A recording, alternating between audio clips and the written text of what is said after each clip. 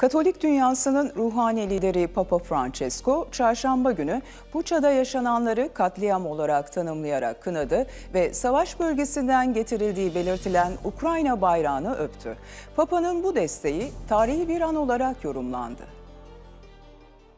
Katolik dünyasının ruhani lideri Papa Francesco çarşamba günü Buça'da yaşananları katliam olarak tanımlayarak kınadı ve savaş bölgesinden getirildiği belirtilen Ukrayna bayrağını öptü. Papa'nın bu desteği tarihi bir an olarak yorumlandı.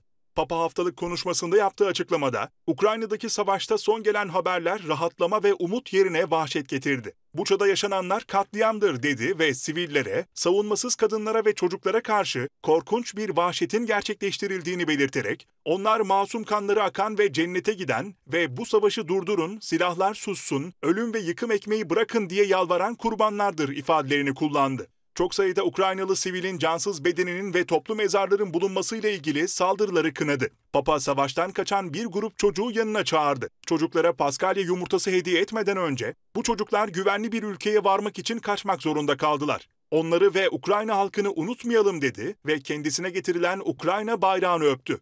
Papa'nın bayrağı öpmesiyle salonda bulunan binlerce kişi ruhani lideri alkışladı. İkinci Dünya Savaşı sonrası dönem hakkında da konuşan Papa Francesco, Ukrayna'daki savaşta Birleşmiş Milletler'in acizliğine tanık oluyoruz diye ekledi.